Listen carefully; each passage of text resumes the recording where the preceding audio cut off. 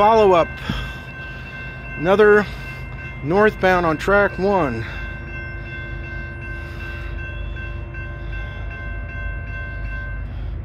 Maybe around 7:30 on Wednesday, October 11th, 2023, Glendale, Ohio.